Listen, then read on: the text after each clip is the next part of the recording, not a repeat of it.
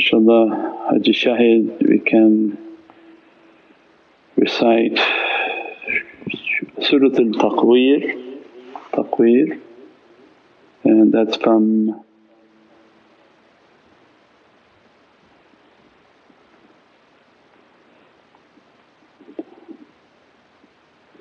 from 19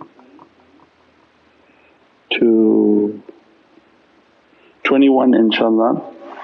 Surah Al-Takwir is Surah 81 and alhamdulillah the holy month of Ramadan inshaAllah fayati Allah Rasulul amri minkum. And always a reminder for myself and abdukul ajizu da'ifu oh, miskeen oh, zalim oh, jahal. And but for the grace of Allah that we are in existence.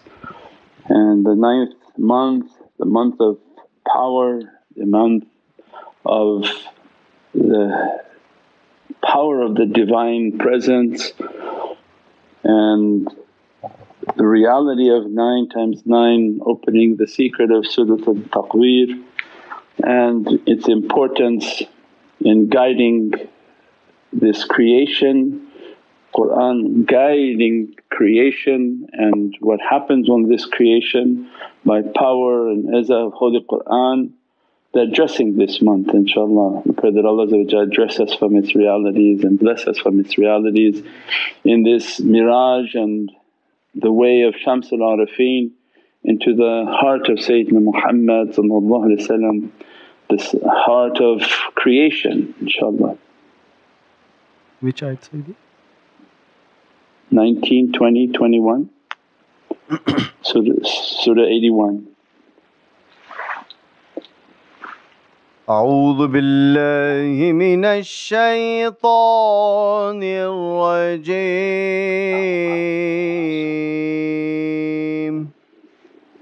بسم الله الرحمن الرحيم.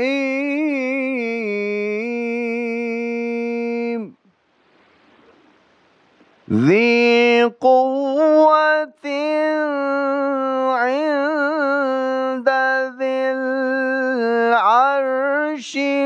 مكين مطاع ثم أمين وما صاحبكم بمجنون صدق الله العلي العظيم صدق الله العظيم وبلغت Rasul Kareem. Surah Al-Takwir, its secrets for us. The seventh verse Allah it's a surah describing judgment day which everything is collapsing. As we draw near to the Divine the Presence, dunya collapses within the heart of the believer and everything of their physicality and mulk is like a crushing. The philosophy of their crushing doesn't have to be a person physically obliterated but Allah within their heart and within their desires they're drawing nearer and nearer and nearer until the 12th month into the Kawthar. Ninth month is the month of annihilation, ninth month is the month of power. Nine represents the nukht in which Allah take the dunya mulk and form of the person and crush them so that all that they've built up of their illusion this is His ni'mat and His favour. That I give you a favour that not your money can buy, not your actions can buy, not your salah can buy, nothing that you can do of amal can get this reality but just you fast for my sake and I'm going to dress you and bless you beyond imagination what no eye has seen, no ears have heard, what Allah dressed the servant. But that dress like binary code, it can't be given when the one of them, the existence of themselves, the I-ness of themselves is in existence. The I-ness when it is ana, ana, I'm, I am, when that exists then the Divinely Presence is distant. When Allah want to complete His favour then this is the month in which Allah reduces the one and that's why the fasting has such an immense reality because it's so hard on the nafs. In areas where they are really hungry Allah grant them immense reward. In the West nobody's hungry. The only reason Ramadan is hard for them is because their nafs is so angry that you're putting a rule on me, a restriction on me, a limitation on me.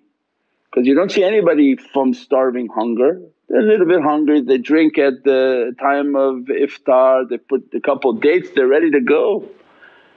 But what was so hard throughout the day and, and, and the nafs puts a sickness on the person so they won't fast, puts their, their blood pressure to drop so they won't fast, make them to just pass out to be unconscious, lethargic, they can't move. Because is saying, I'm not going to do it and Allah showing, you see how strong that being is. This month if you follow and obey me I'm going to crush it and bring it down. But in exchange whatever goes down something must be coming up, whatever Allah's closing must be opening because it has to have the, the rule of, of opposite. So in this month of immense light Allah bring down the dunya and the mulk of the servant and open for them his malakut.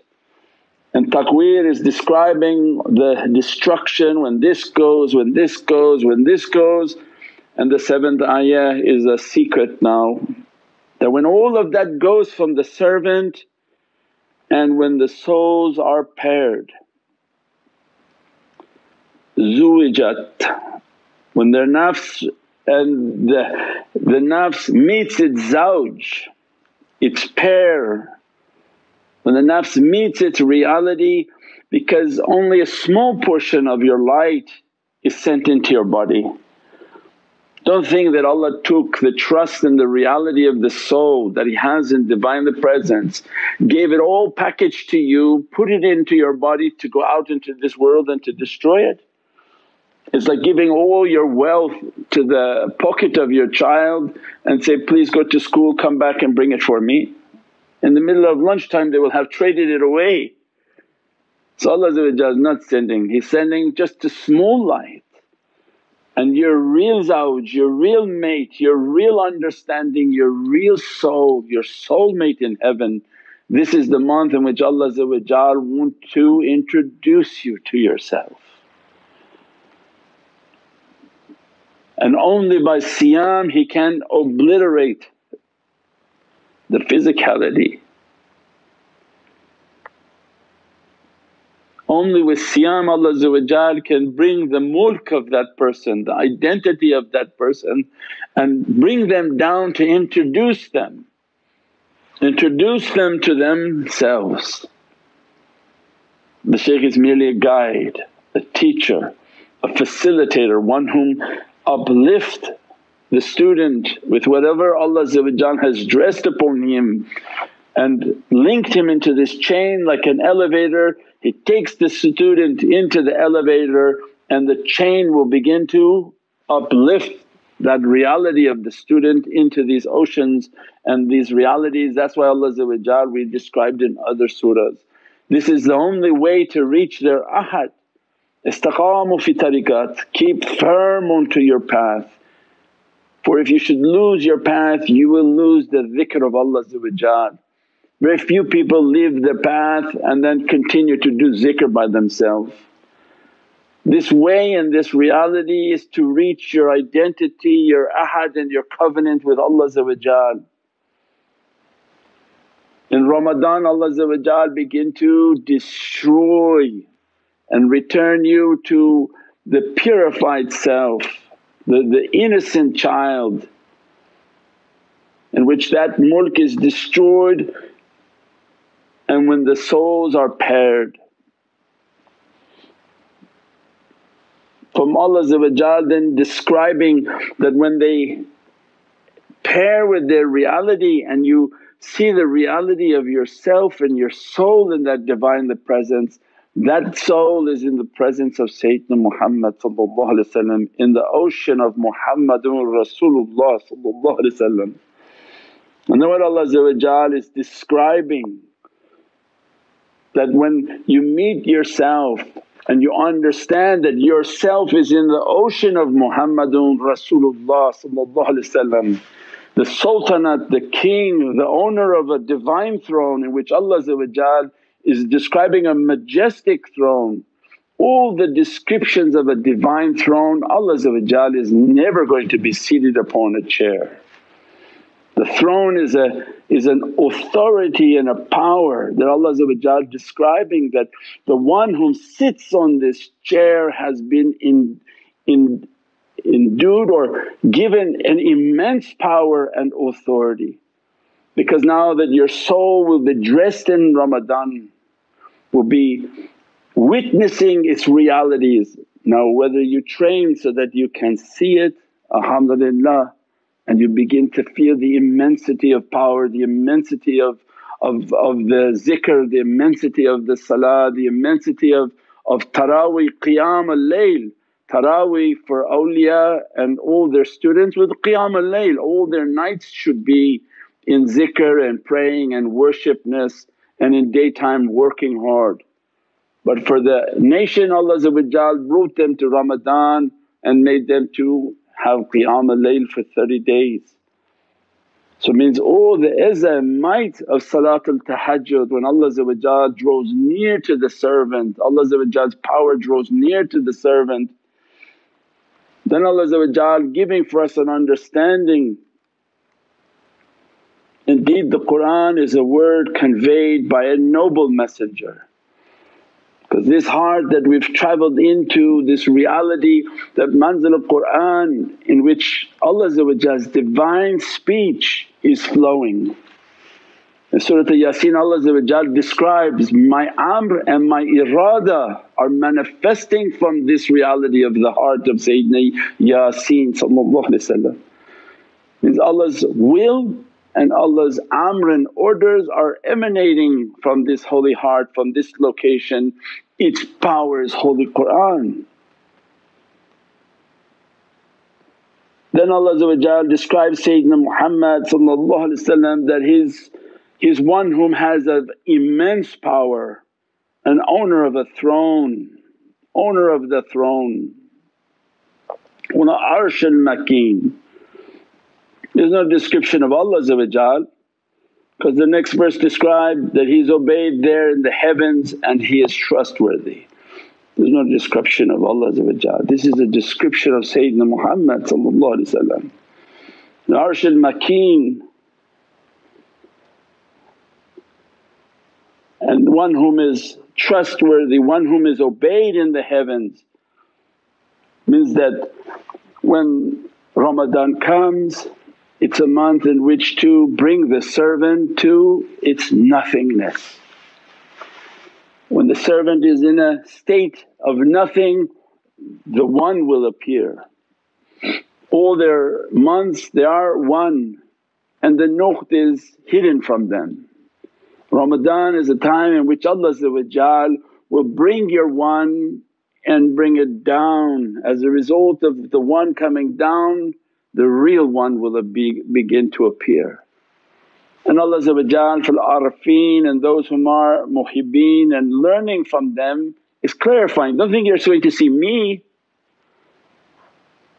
but you are going to see the one whom is endowed with power, one whom is obeyed because of that power, one whom sits on a throne of authority. I am taking you to witness the sultanate of Sayyidina Muhammad So this is an immense month, this is an immense majestic month.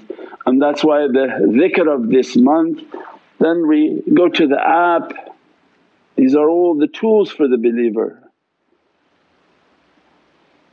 we say the app is teaching Ramadan the ninth month and 81 the name of Allah Al-Muntaqim, Al-Muntaqim. Why? Because He is the avenger of his servant. How, how you going to go to Allah when shaitan has been playing with you and making you to be dirty, making you to be filled with sins. Only Sifat al Muntaqim will avenge Allah's creation. That, Ya Rabbi shaitan has destroyed me, shaitan has made all my amal to be of no value. That's why in Qasida Burda we say the Muntaqim, the Sifat al Muntaqim has to come and they're asking, asking Ya Sayyidi Ya Rasul Kareem that al Muntaqim to come and to avenge me. Like a fire, like a shihab that Allah begin to hit the shaitans. That's why in the holy month of Ramadan they say that shaitans are chained up. What shaitan is chained up? What does that mean? You don't see that the kuffar are the ones killing Muslims in Ramadan because they think they fasted, they're weak. What does that mean? Shaitans are chained up. No, your shaitan is chained up, not theirs because Allah didn't give them that barakah. Their shaitans are fully all over them because they didn't accept the deen of Islam. So whose shaitan Allah is chained up in Ramadan? Yours as soon as you make intention, I want to fast Ya Rabbi for you. Then Allah say, I'm going to then send my sifat al-muntaqim all around you. And that muntaqim will burn and destroy every devil. That's why the night before Ramadan everybody's crazy, yelling, screaming, all sorts of emails of people aggressive because their devils know in the next few hours, here we go. This is the, the month in which Allah going to burn us the entire 30 days. And as a result so many difficulties before the, the nights before Ramadan, couple nights before Ramadan. So when this hadith of Prophet describing the devils are chained because sifat al-muntaqim is guarding the servant. That Allah bombarding, bombarding that the shaitans are obliterated. The shaitan outside the servant and the shaitan inside is fleeing. From as soon as he enters into a fast, Prophet described the shaitan is moving through the blood, the blood is now restricted and being cleansed. So at every aspect, inner and outer Allah's fire is burning devils so that to return the servant to a state of grace and beauty, beatific rahmah. Then what is the name of Sayyidina Muhammad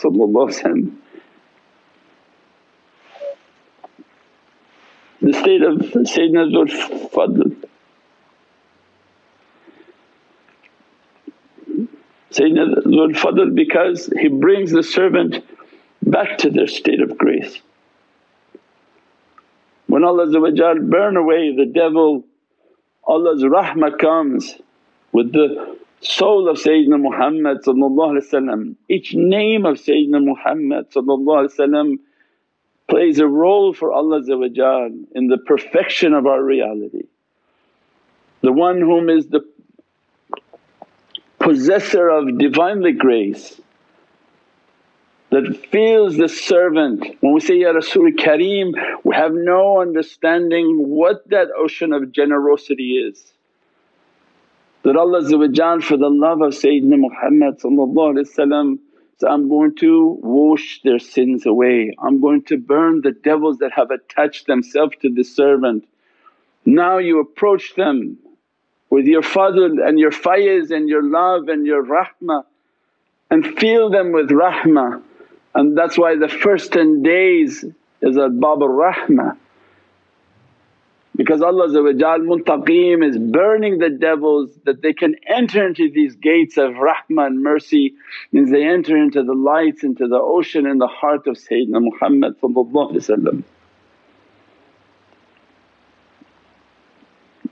We pray that Allah dress us and bless us with the immensity of that understanding, the immensity of Ramadan and that's why it's the month in which to do every good.